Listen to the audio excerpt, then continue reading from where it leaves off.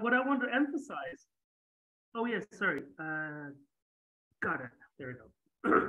yeah, sorry. And given this gauge gravity geometrization tradition, um, something that is only been, so this has been, you know, past uh, almost 100 years. And what is interesting, and this is this is true only in the past 10 to 20 years, maybe even just 10, is that there's a new exciting era for what mathematical physics is now, is, is, today, this interaction between fundamental physics and pure mathematics, is that the, there's a new player to the game, and that's been made possible in the, in the last uh, decade or two. And it's that uh, computational aspects of geometry and group theory and combinatorics and number theory have become a crucial ingredient to fundamental physics. I know these words like SAGE, Macaulay 2, GAP, you know, LMFDB, GRDB, which are, I think at this point have become very much embedded in the mainstream mathematics community, has actually in the last decade or so become part of the standard language for theoretical physics. And I've been a very much of an advocate this of, of, of this aspect um, to the theoretical physics community. So just a very brief uh, one um, slide summary of what string theory is and why it is interesting to this community. Um, and then I won't say any more about string theory. It's just that, you know, string theory is this candidate for um, unified theory of quantum gravity. I mean, that's, it's sort of, sort of the holy grail for, for fundamental physics, because once you have these two, you understand sort of the last theory of, of everything. So this, of course, is a program that's been going on since 1950s, um, you know, since Einstein even. But, uh, and it, it's, the computation has been very, very difficult because when you try to quantize gravity, you run into technical hurdles. And string theory still today remains, and this is something that came out of um, the 1970s. In the string theory, um, is still to this day remains the best candidate that unifies the theory of, theory of gravity, this general relativity, with a theory of quantum field theory, which um, so the quantum field theory describes the standard model of physics and uh, of the of the microscopic world, and general relativity describes the evolution of galaxies and the cosmos on the on the macroscopic scale. And unifying these two, still the best candidate today is this theory called string theory, and that's all we need to know. The only problem is that this theory is consistent. Uh, the, the standard solution to the consistent of the theory is that it exists in 10 dimensions. And we don't live in 10 dimensions, we live in three plus one dimensions. So we've got to somehow have to argue away the hidden six dimensions of, of, of space. So one of the standard paradigms that I'm going to talk about, you can make them very, very large. I won't talk about that, but I'm going to talk about one of the ways just to say, well, you can make them very, very, very small. So small that they're at the Planck scale. So we are, um, we don't, we simply haven't, haven't observed, right? So this, the Planck scale, just to give you an idea, is 90 orders of magnitude smaller than what CERN, the be our best uh, detector for small distances, can detect. 19 orders of magnitude. So that's that's quite small.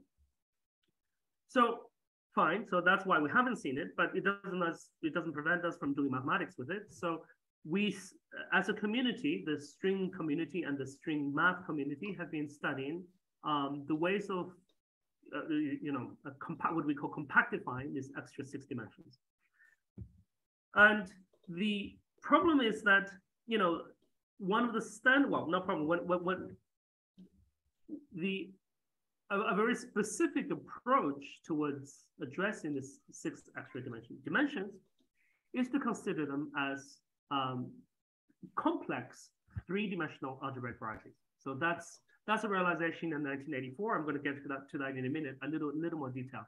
So there's this complexification that's needed, and in fact, not just that, but Kählerness, which is needed, which essentially come from the requirement of, of supersymmetry because string theory is an inherently supersymmetric theory.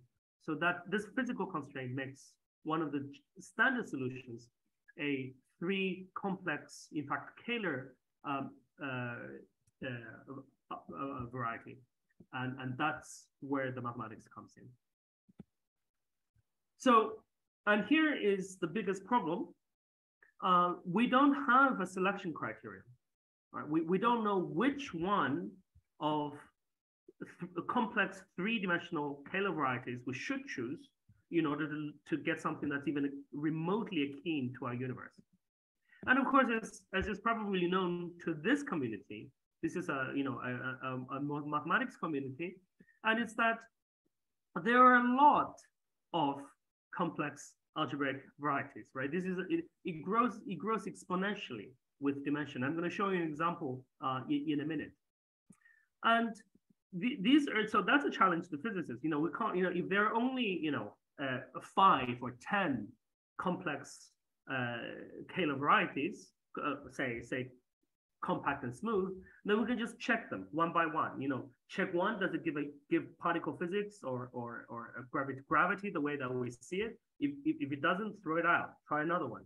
But unfortunately, estimates of this kind of geometries uh, not just the underlying manifold, but in you know other uh, structures like fiber bundles on them, et cetera, et cetera, or counted the number of algebraic cycles on them, estimates like 10 to the 500 already seeped into the public imagination as far back as 2003.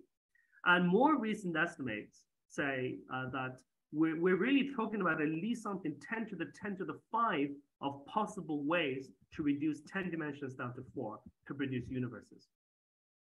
Okay, so that, that, that's a huge number, right? So this is called the vacuum degeneracy problem, and it, it is the biggest theoretical challenge to, to where we are today. Because we don't have a selection, we can't just rule out, um, you know, swath of them. And we don't even have a, so a more technical way to say it, we don't have a metric on the landscape, a concept of distance, which one is closer to others or which one's closer to our universe. Of course, you know, 10 to the 10 to the 5, it could be that 99.9999% of that doesn't give a universe even remotely close to us. You know, it could give like 15 generations of electrons, but we just don't have a way to, to check that a priori. And we just, uh, our current technology, well, so far in the last 10 years, has been just doing case by case checks. And just to give you an appreciation, independent of all of the physics I've been talking about, the underlying reason for this kind of huge numbers is that algebraic geometry very, very often leads to combinatorics. And that once you're into in, in the world of combinatorics, you are in the world of exponential growth. So let me just give you an example. So our favorite um, Kähler manifold is, of course, the Ricci-flat ones. So th this was the realization that, that um, the physicists realized in 1986, that the stand, one of the standard solutions is a Ricci-flat Kähler manifold.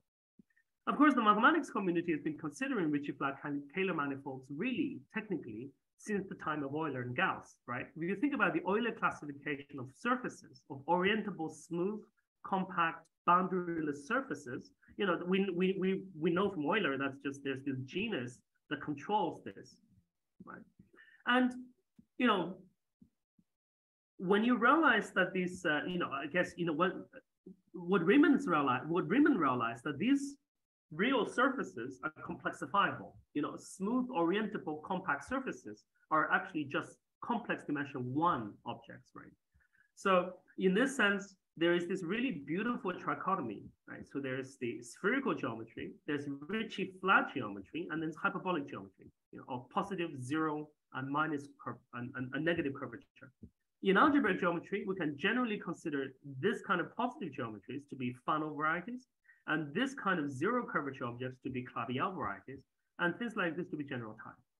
So if for surfaces, Kählerness is already is automatically guaranteed because Kähler requires the closeness of a two form. So for, for surfaces, that's trivial. The point is, is, you know, there's this beautiful story that relates to topology, to algebraic geometry, to differential geometry, um, and to, to index theory that, you know, expands across various disciplines of mathematics. And for, to, for example, you know, this, this relation, right, the, the, the, the integral of the curvature divided by 2 pi is exactly the Euler number, is what Gauss considered his greatest theorem. So this is quite impressive stuff. So of course you can phrase this kind of uh, integral in modern algebraic language as sort of intersection theory between uh, cohomological classes and homological classes. And to, to generalize this theory beyond complex dimension one, as you can imagine, is very, very difficult. But at least in the, in the Kähler world, this is more or less still, you can state it in, in, in this form. And that was the, the, the content of Calabi, Calabi's conjecture from the 1950s. So given a, complex, a compact Kähler manifold, essentially, I won't bore you with the details of the theorem, is that this Chern class does indeed control curvature the way that for surfaces, Gaussian curvature is controlled by the first Chern class. But this was a, this was a conjecture. Calabi proved the uniqueness, but he couldn't prove the, the existence of such, such Ricci-flat Kähler metric. So Yau did it um, uh, 30 years later, for which he was immediately awarded the Fields Medal. And that's why, you know, you can see this is an important problem uh, in the tradition of, of, of, geometry.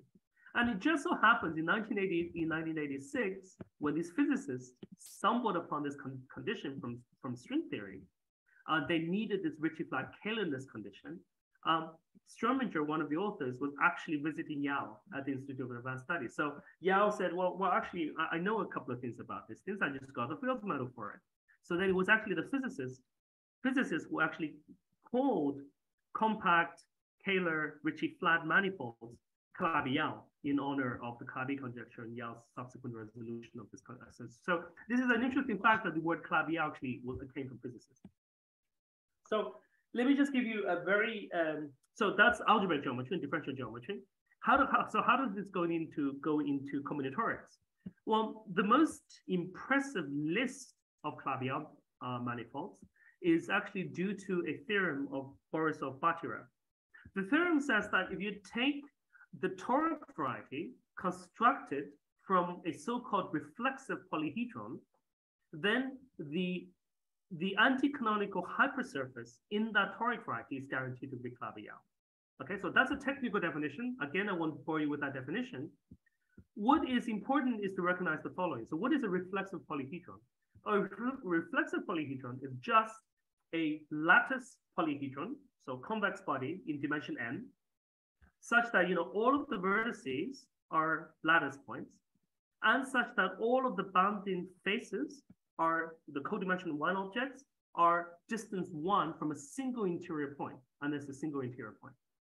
Okay, so for in in dimension two, these are called reflexive polygons. Okay, so you can see you can see all of these polygons have this property, right? All of the points are lattice, and there's a single interior lattice point, and all of the boundaries are distance one from this interior point. And this was known in the 1890s by the Italian School of, of Geometry. And the point is that we know in every dimension, there's a finite number of these things up to SL and Z. So in dimension two, up to SL2Z, there are exactly 16 of this. But the next number is already unknown. So if you take a hypersurface in the toric variety constructed out of this, you're going to get, well, two. So the toric variety out of these things is going to be a two dimension, going to be a two complex dimensional Fano variety. And you take a hypersurface in that, you're going to get a Calabi-Yau one fold, and that's an elliptic curve. So an elliptic curve or torus, the, the algebraic model of, of, of, uh, of, of a torus are these special things here. But the next dimension is already unknown until the work of the physicists, Kreutzer and Skarke, who in 1999, 100 years later, just brute forced this and counted it on a Pentium machine. And, and they, they counted up to SL3Z is 4,139. So these will give you two complex dimensional um, Kähler Ricci flat algebraic varieties, which are known as K3 surfaces. Now, I told you that we wanted complex dimension three, right? So you need to construct four-dimensional polytopes. And Kreutzer Skarke, in a year later, enumerated this up to SL4Z. This is an incredible number of almost half of a billion um, such such you know polytopes in four dimensions. And if you, if you take the hypersurface, you're going to get Calabi-Yau. And a dimension greater than four is open. There is you can see the combinatorics grows exponentially.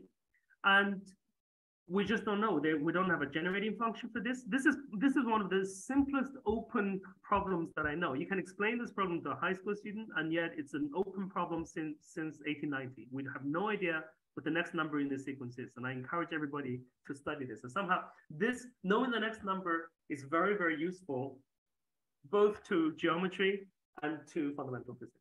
So we did some estimates of what it might be, but of course these are just extrapolation.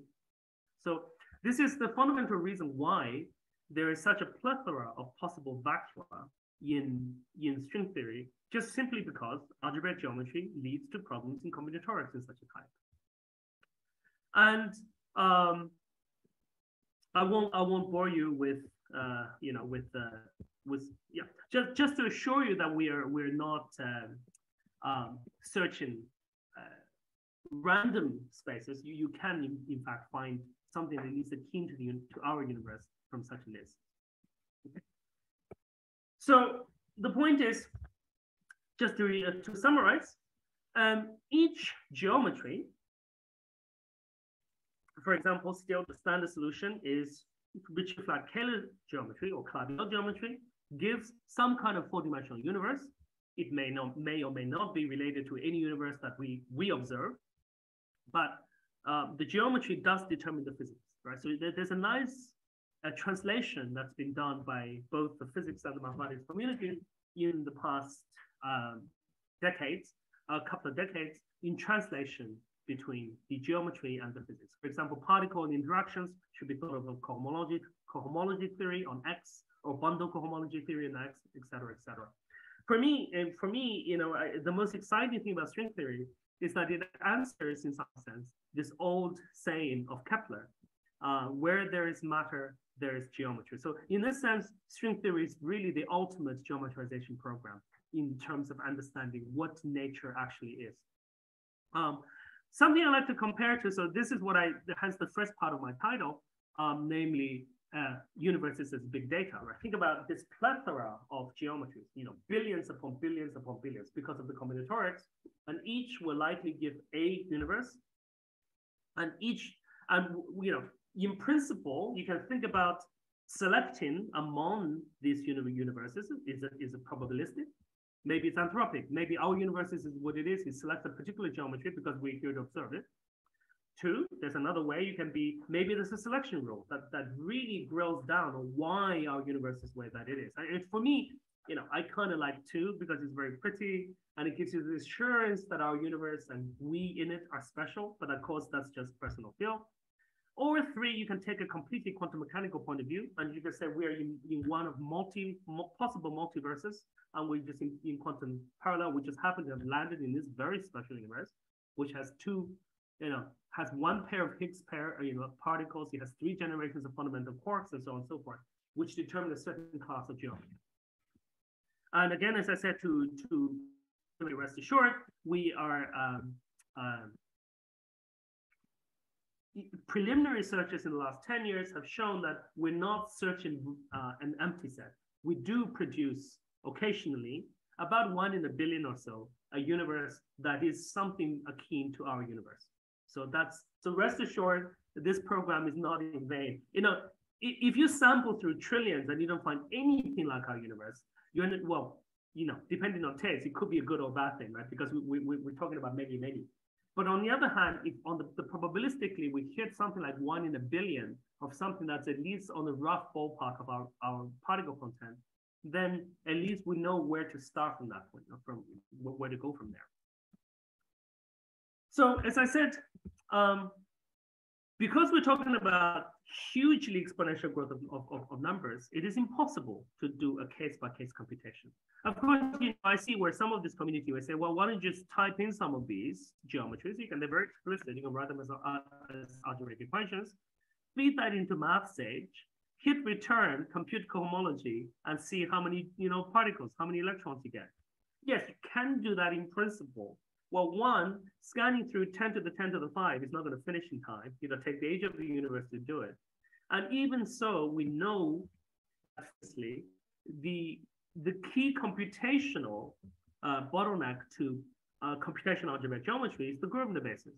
And unlike its linear counterpart, Gaussian elimination, which is polynomial running, the Gröbner basis is a double exponential complexity problem. So you, you know, you got you got 10 to the 10 to the something number of possible geometries. And each geometry is a double exponential running complexity problem. So you're not going to be able to just search through the, you know, do the entire search space.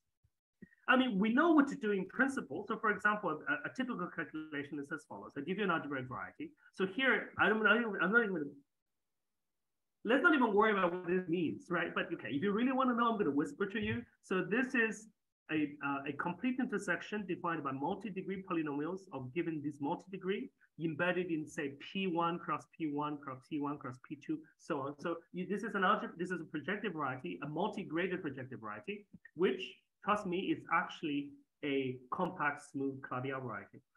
So then what we know, we know, say for example, I want to compute H21 of this sucker to be 22 right? So, I mean, for example, this 22 in physics can show up as the number of uh, uh, anti-generations of, of fermions, right? But the computation, we know what to do because, you know, Bourbaki tells us what to do. Bourbaki tells us to, you know, to change long exact sequences until you're blue in the face. You know, luckily, thanks to people like, like Mike uh, Stillman and Hao Sheng and, and, and Dan Grayson, and, and, and, and, you know, these are implemented in Macaulay 2. So for very, very simple varieties, you can just put all of this in there and hit return. And it'll give you a number. So hey, let's that's H21 and so on and so forth, um, which is which is nice.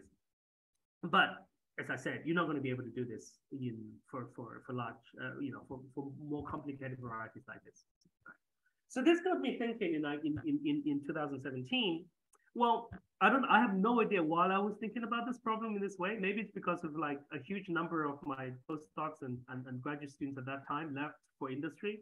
And the moment they're suckered into industry with a PhD in math or physics, you know, they make you do data science. So I learned um, machine learning from them, and they were telling me about this is like really cool stuff. So I look at this picture and started thinking, well, why can't I just represent this as a pixelated image, right? So instead of running through Bourbaki, what got me thinking is that is it possible to start training? So, so this image, I mean, this is partially a joke because I can represent this, you know, say if I, if I put one as green and, and zero as purple and two as uh, red or whatnot, every uh, one of these representations is a particular image. And, and I want to iterate that. Um, in fact, any algebraic geometry problem can be thought of at some level as an image processing problem, uh, given sufficient large amounts of proper computation. So, so Bourbaki tells us what to do. You can implement that on Sage and Macaulay 2. Say once you've gathered 100,000 cases, you have some confidence of that it's doing something, then it's it's just a simple uh, image processing problem, right? It's, it's an association rule that this image should be associated with the number 22. Right? And then the natural way to do it is to well just machine learn this problem without any regard of whether your, your machine learning algorithm understands anything of the background geometry. Right? So in other words, you do the standard machine learning thing. You take, uh, you know, just um, I just want to emphasize this right. You know, in, machine learning usually gets you know some some some some pixelated images like this from MNIST, which poor graduate students have been entering for for at least since the 1960s. And then you feed in some, some neural, neural network, you do some training of, of this, and then you do some, uh, then you then you validate on, on unseen data. Now, of course, you're asking me at this point, which neural network? Well, let's try some generic ones, simply because I just don't know any better. I don't know the neural network that does algebraic geometry. But let's just try a couple of couple of them, see how, how well it does. Right. Um, in 2017, I had you know epsilon knowledge of um, machine learning. And now I have uh, epsilon divided by two amount of knowledge of machine learning, but at least it's a bit a bit bigger. Um, I think that's that's the correction. Yeah, that's the correct direction. Just want to make sure that's the correct direction. And and at some level, uh, you have universal approximation theorems that work, right? So, you know, in physics, what we do all day, well, actually, what what most of physics is is linearization we can't solve some unlinear, we can't solve nonlinear PDEs, we can't solve nonlinear ODEs, um, we can't do nonlinear anything, so we approximate, we linearize.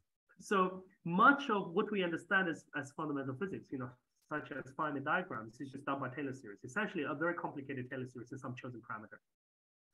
What, what the neural network approach gives us um, is something a little bit better.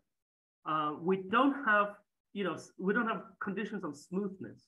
So to, to in order to give this Taylor expansion, we but we have something that protects us a universal approximation theorems, which you know, given sufficiently large depth or width, um, you can essentially, I won't get into the details of what it is, uh, essentially approximate any kind of input and output.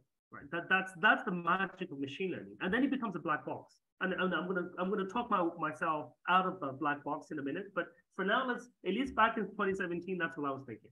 Let's just treat it as a, as a as a black box and choose some kind of neural network that could could be that could try to compute something like this. So I was very surprised that it worked. So um, I took about 8,000 matrices of this type. I, I, I had in my, um, in, in, on my laptop, because I've been doing computations like this with many, many friends and collaborators over the years, I had, I had this database. And this database is a very small one compared to the Kreutzer-Skarke one, which is half billion, which you know we're working on now. This is the complete intersection database, and it's nice. It has nice matrix representation, and it's you know you can think of well, Calabi-Yauness is not even necessary here, right? And you can think about most varieties of being, being well, you can think of most, well, certainly you can think of any Kähler variety as being represented in such a way. You can always find some kind of projective space in multi, multi-degree in which you can do this embedding, and then it becomes some, this image process problem. And people have been computing the, the exact numbers from traditional methods, and it, it could be quite expensive, but it's been done. But then you take 8,000 of these, you shuffle up them up, uh, after permutation, you can easily generate something on, order, on the order for you know 10 to the 5 number database. You train, say, 50% of them, uh, just as, as, this association rule, and see how well you do, right? I was expecting like, I don't know, completely random. Right? Well, why would why would any simple, so I used um, a forward feed three layer neural network with um, linear activation, maybe hyperbolic tangent activation. None of that piece of nothing in that piece of information knows anything about algebraic geometry. And yet, very quickly was able to get into the 90s in terms of precision in predicting this number. This number has been over the years been improved by, by many, many authors. For example, these beautiful papers of Erbin and Finotello have improved it to 99.96% accuracy. Of course, you know, you say, okay, fine, what's what's wrong with the 0.08? I don't know. This is in progress. So if you want to read more about this, you can you can you can read my book. I try to summarize a lot of this progress of this. Um, of course, this book is physically motivated, but I've since gone more and more like just trying to think of what it is. Um, okay, this is a, a shameless self-advertisement. I want you to buy this book so I can I can get royalties. So well, don't buy it. Get get every single library in the world to buy it. Then then I collect royalties, and I'm happy. So in, in some sense, um, uh, actually, interestingly, I had a couple of friends at the time who were thinking along similar lines in string theory community of applying machine learning techniques. So somehow within there, I wasn't talking to them at the time. So they're, they're so 20, 2017 is when sort of string theory enters this machine learning era. Very coincidentally, the same year that Sophia becomes a human citizen in Saudi Arabia. So it's uh, you know, it's it's up in the air. But this really got me thinking, which is, um, I'm just checking my time. Sorry, I'm gonna, um, yeah. Fundamentally, what got me thinking is like, you know, why should we stop at geometry? You know, why stop, certainly why stop at string theory? You know, why, why stop in geometry at all? What, what problems in mathematics can be addressed in, in this way, at least on experimental basis, and then I will try to address some of the more serious um, in, interpretive ideas on, on, on, this, right? So this got me thinking, so if you excuse me for a few minutes of a few moments of speculation, right? I think there are really two ways that one does mathematics. The first way is you got to go back to the to the fundamentals, right? If you think about Russell and Whitehead, you know, Principia, you know, formalism from mathematics line by line, right? When that program was killed by And Turing in the 1930s because they proved that they're unprovable statements within any order of logic in, in mathematics. But this never deterred, you know, practicing mathematicians to ever worry about Gödel, right? Because, you know, we don't, you know, I, am sure as algebraic geometers or as mathematical physicists, we don't sit around thinking, oh my God, am I ever going to hit a problem that's going to be Turing incomplete? I mean, occasionally we do, but that doesn't stop us from continuing to com computing things. So, so in 1956, as far back as 56, you know, actually, uh, right about the same time as the first neural network, uh, the idea of a neural network, completely, uh, you know, independently, that um, this people started thinking about this automated theorem proving paradigm. You know, to in the beginning it was just to prove axioms within Russell and Whitehead. Of course, this has been hugely uh, improved by the Lean project and especially by people like Kevin Buzzard and Harold Davenport. And I think Kevin just gave the ICM address on this on this point, so I won't belabor it. I, I know very little about this, but what I like to call this kind of mathematics to be bottom-up mathematics, and this, you know, just sort of formalize the mathematics line by line until you prove all of the statements. And fine, you, you can certainly get a lot of mileage in in, uh, in, uh, in this way. And this that's what Buzzard's uh, Xena project is all about. And people very, very optimistic, like Szegedy in Google DeepMind, extrapolates, you know, this kind of stuff has beaten humans at chess by 1990s, Go in 2018. So it should start producing new theorems by 2030. I have no idea what this extrapolation is based on, but hey, if Google says it, it's got to be right. Um, so let's see. So let me just, so that's one way to do mathematics. Well, there is another way that we do mathematics, and this is what I call the top-down approach to mathematics. By the way, bottom-up and top-down are words that physicists use a lot, so I'm just borrowing this word. And, and this idea is to gain intuition experience by, by experimentation, not, not building up mathematics line by line, but to just look at some intuitive idea and then try to formalize that idea and then try to prove something. And you know, to be honest, this is how we mostly do mathematics during our day, right? We, we play around, we muck around a little bit, and we see some patterns, and then we formulate some conjecture and we prove it. And then when we submit it to a paper, we write it backwards, as if we never did the experiment, as you know, if it's God given. Somehow, I think that's also a product of Bourbaki to write and do mathematics in that style. But we shouldn't forget experimentation. So if you think about, you know, I always say, you know, what is the best neural network of the 18th, 19th century? Well, it's obviously the brain of Gauss, right? That neural, neural network is unparalleled. Gauss can look at this and say, well, this is clearly x over log x before the age of 16, right? And then we, we should remember, right? He, he saw this and then he said, you know, the, the prime counting formula is x over log x before complex analysis was invented, 50 years before complex analysis was mature enough to allow the, the actual formal proof. It was just purely based on pattern recognition.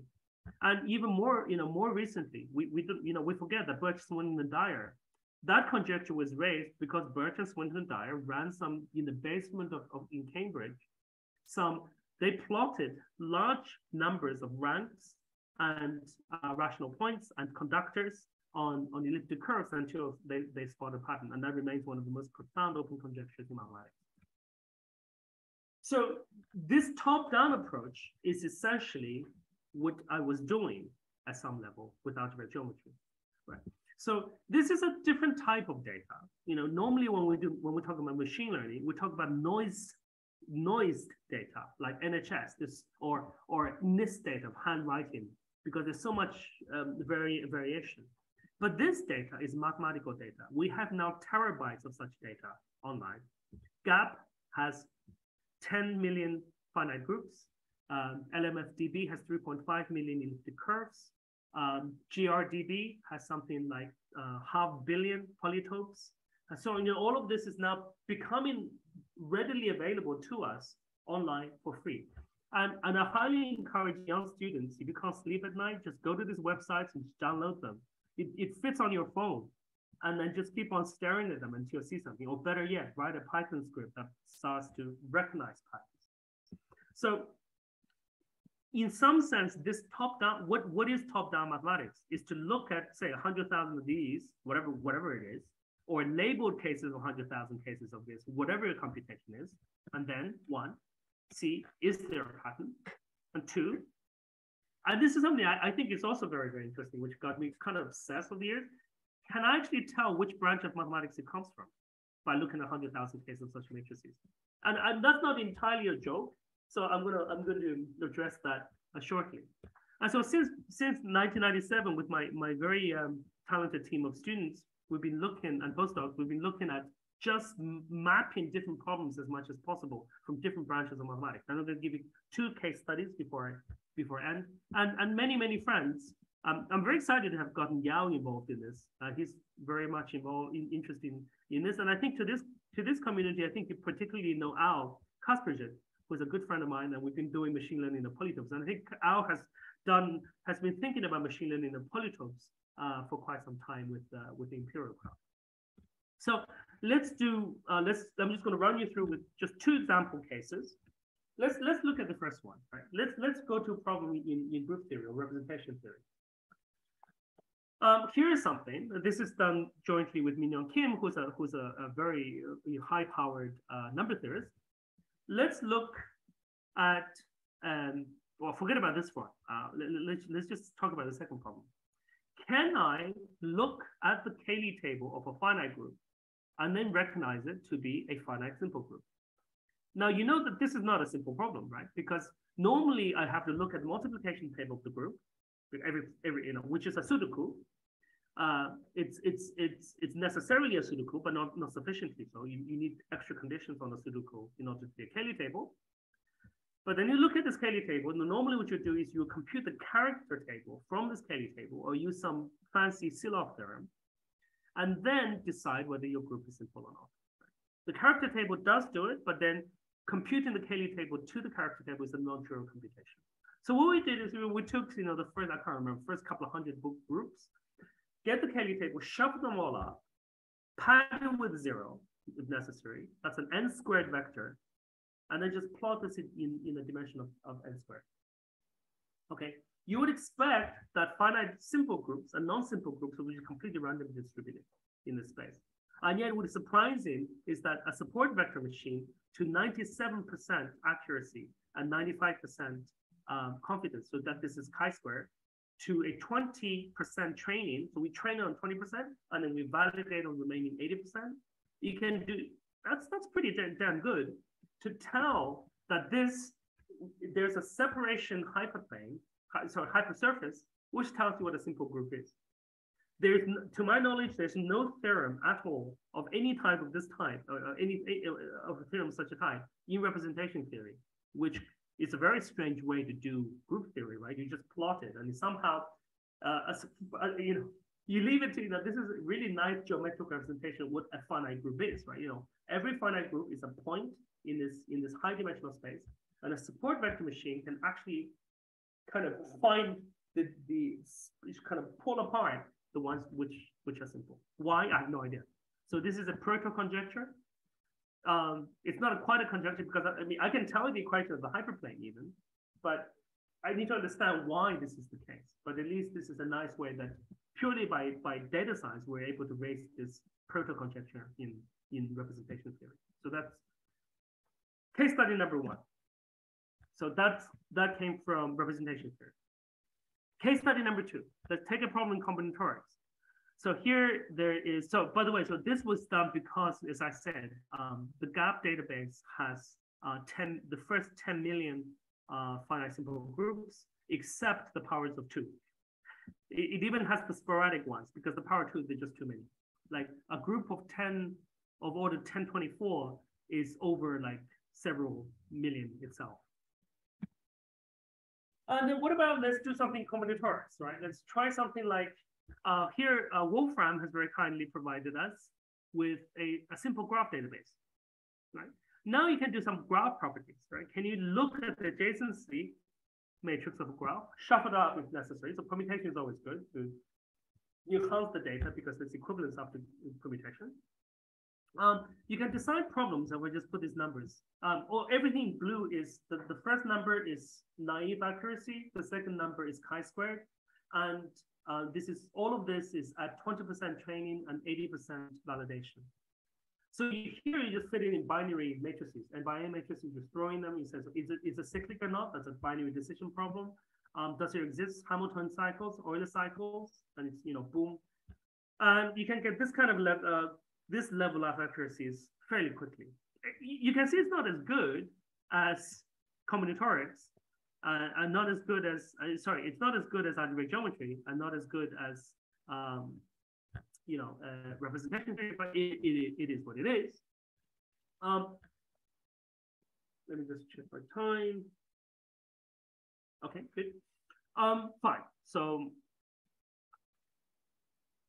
some problem, well, what is interesting, at least from I'm just reporting from an experimental um, experience is that you know if you try to muck about with the standard algorithms, whether you're using a you know convolutional network or or a, um, a support vector machine or or your favorite thing or your Bayesian classifier, do whatever, um, they don't actually make that much of a difference with this kind of generic classification problem. Um, it's only when you really and put I mean, of course, that's biasing your, your, your, your, your machine learning algorithm. If you start putting in your knowledge of what the actual underlying mathematics is, then you can okay, get, get much better accuracies. But if you just want to throw in some random, you know, your generic, you know, out of the box uh, machine learning algorithm, then they, they all tend to do around about the same. And this is, it is what it is because, you know, you don't expect um, you know, randomly some you, are going to hit on a good or, or uh, you, you're going to hit on a machine learning algorithm that stands out. That, that's the basic basic idea. So now you know where I'm getting getting at this. Right? Algebraic geometry good, um, and representation theory pretty good. Uh, combinatorics okay, one of the problems about combinatorics is that it's very, very difficult to, to machine learn graph isomorphism. So permutations of matrices is something that's extremely difficult to learn. Uh, so you have to build permutation symmetries into your neural network. But of course, again, that's that's cheating a bit if, if, if you see what I mean. Okay, that's okay. It's not it's not crazy. You know, 0.8, 80% accuracy is not bad. Right. And you see where I'm getting with this. Of course, the moment you, you, you enter arithmetic, then maybe it's not so good. Um, because you know, if I can if I can machine learn how to factorize a prime, or, or even machine learn how to even recognize a prime, you know, I'll, I'll be rich and famous, right? Because I can start cracking banks. Uh, but sadly, uh, I haven't been. I've been trying with whatever fine-tuned neural network to try to factorize large integers, and it doesn't quite work very well. Uh, I just want to emphasize um, this problem in analytic number theory is called so-called Sarnak's challenge. And this problem is, can you do, can you recognize the Liouville lambda function? So what, so what this function is essentially, well, I, I'm, I'm, I'm adjusting the Liouville. Um, the Liouville lambda function just counts um, the parity up to multiplicity of the number of prime factors given an integer. Okay, so if you're, so four has two squared, so four is two squared, that's two um, prime factors. So the Liouville lambda here I can set to be one. And then if it has an odd one, I set it to minus one. There's a little more involved than that. There's a there's a there's a case of zero, but let's not worry about it. Let's just think about parity. And then Peter Sarnak, who was a leading um, analytic number theory, says that it's very, very hard to try to predict what the Liouville lambda is. But well, let's try machine learning this problem, right? So I, I let, let me take a hundred, uh, a sliding window of length a hundred, and so it, it, you know it just basically one zero zero one zero one zero. This length a hundred vector, and I just want to predict what the next one is. What is one or zero? So this is a binary classification problem of a binary vector. If this problem, if this problem came from algebraic geometry, you know, if such a similar problem came out for each, or even from from representation theory, I can bet you money it will learn within above 90% accuracy in a matter of seconds. This one, I really couldn't find any neural network that could do break even basically. So this, this, these numbers mean breaking even, right? So uh, the, the validation accuracy is 50%. You can't do better than the coin toss and your chi-squared is, is actually zero. If you can do, if you can just do 0.51%, then Sarnak will be happy to give you some money because then you found some pattern that the analytic number theorists don't know about. And then, of course, you've got to interpret it. You know, you know, don't use some random black box. We need to understand why the neural network is still better. But I couldn't find any machine learning algorithm that breaks 50%. Uh, it is what it is. Um, so factorization, factorization of primes, classical um, arithmetic problems, not so good. Surprisingly, arithmetic geometry fantastic. So if you look at, so and I won't bore you with, you know, um, things like um, dessins d'enfant, uh, these ones, you know, the, I was working with card carrying um, computational number theorists. Um, you can you can really predict uh, whether um, um, certain elliptic curves or certain number fields have properties uh, like, you know, order uh, the, the, type of Galois group, for example, to very, very high accuracy very quickly. Something I want to emphasize, for example, if you really look at the Birch-Swinnerton-Dyer conjecture, um, you can, so, so here, uh, what's interesting, let me just flash very quickly. There is a strong version of the Birch-Swinnerton-Dyer. So the weak version of BSD is that the order of vanishing of the L function is dictated by the rank of elliptic curve. But the strong version says that it's not just dictated by the rank, but it's actually given by, by exactly these products. Right? And if you want to just predict using the L function coefficients of an elliptic curve to predict to predict its rank, its its regulator, and all this, you know, fancy stuff, it does to um, this level of accuracy. However, if you want to do something like Tate Shafarevich group, which I'm not an expert in by any means, this is where I know epsilon cubed amount of expertise. Uh, but people, but these guys tell me that the Tate Shafarevich group is the hardest part of the strong BSD conjecture. And this one we could not get. This is interestingly the worst um, performance in this kind of prediction.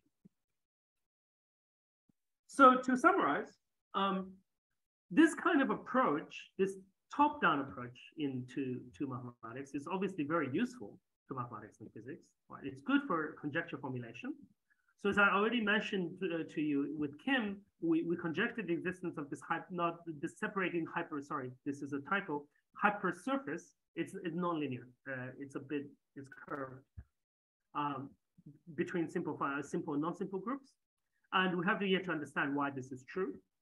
And um, our, our, some of my friends and colleagues have uh, gotten an exact formula for, for cohomology in surfaces, for, for line bundles of cohomology of surfaces. What they were able to do was to just have enough of them computed, and then they um, um, started plotting in moduli space of the, of the bundle, which you can represent as a, you know, for, for line bundles on surfaces, you can, you can uh, often represent these as a two-dimensional grid. And then they just see uh, where uh, there's a jump in in in the in the rank of cohomology group and then they found all the boundaries and then you can actually analytically prove them. So that's kind of nice. So this the machine learning there was really guiding towards what what, what you should be uh, looking for in terms of, of boundary results. And as i said here with uh, lee and oliver we were looking at prediction um, of say torsion points or, or of elliptic curves from from from l functions.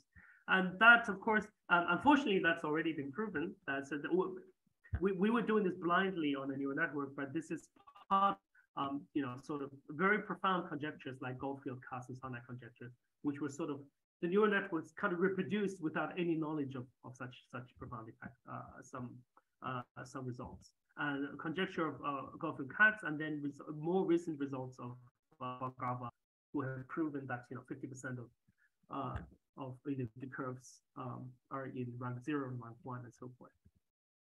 Um, and so on and so forth. And the other uh, Jones polynomial fits uh, done by these guys. And then more recently, uh, just last month, there's been a paper by the DeepMind collaboration, which uh, again, you, you, take what they did was very nice. They took knots and they did exactly the same similar kind of game. You, you, you, they took um, took Jones polynomials, uh, which is uh, deeply related to the volume conjecture. So there's some uh, properties of this analytic function for, for, the, for the Jones polynomial that dictate the volume. And they were essentially using uh, some neural, net, neural network to find bounds, which then they can analytically, analytically prove. So this approach from top-down mathematics, I think is very, very fruitful. And I think it, we, we're now at the stage where we are going to be very much reliant on uh, machine learning techniques to help us raise new conjectures. Right? And it was not to mention that you know this is for free. You know, you can certainly speed up computation uh, and, and improve accuracy. So, for example, one of the things we tried with metrics, there's a famous Donaldson algorithm. So, far, I forgot to mention, there's no known Ricci-flat analytic uh, metric on any Calabi-Yau manifolds above the trivial cases. So the Yau's proof is purely exist is existential, Nobody's ever constructed an analytic proof. Nevertheless, Donaldson gave a very efficient numerical algorithm which converges and what he calls a, a, conver a convergent balance metric, which converges towards the Ricci-flat Kähler metric uh, in the most efficient way possible. What we did was to take the Donaldson algorithm and just train it on some patches, or say on the quintic, uh, quintic variety. And then because the Donald, Donaldson algorithm requires higher and higher sections, so you need an exponential growth of the monomial basis.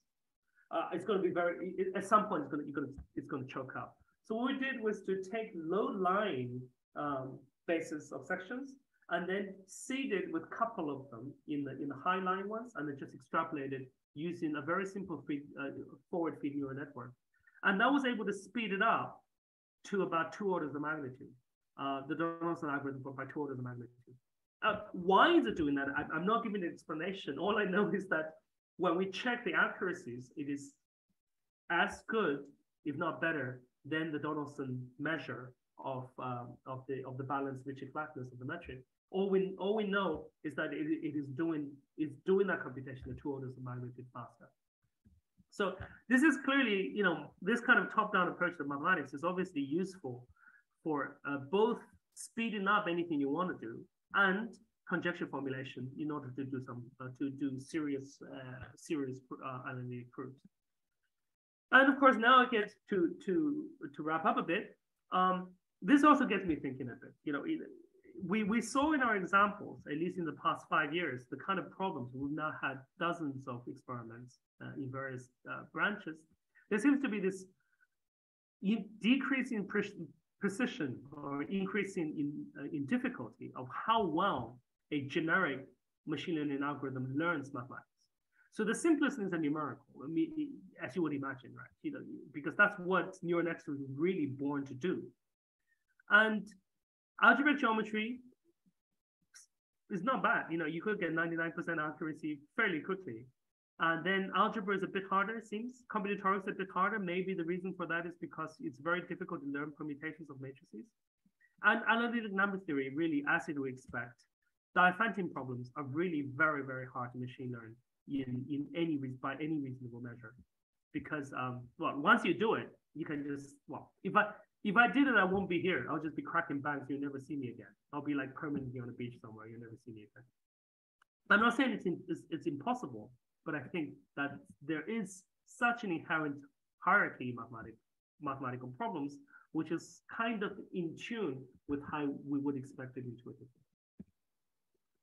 So um, here's another uh, another advertisement. You can so this kind of experimental mathematics is not really suitable for experimental mathematics, right? So there is a journal of experimental mathematics, but experiment journal of journal experimental mathematics only wants your submission when you have formulated a very clear conjecture of what needs to be proven, right? So how do you where do you go with with proto conjectures and just some fun experimentation and, and speculation, or just simply, or um, with the nature of mathematical data. So as far as, as far as I know, there is no such a such a journal. So if you, when there's a lack of a journal, you start one yourself.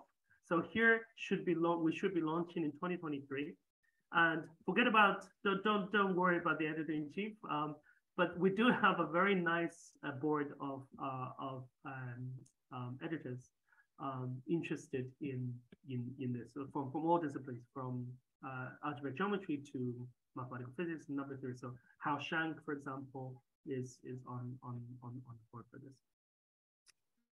And, um, and I think I'll just stop there and I have time for questions. Thank you very much.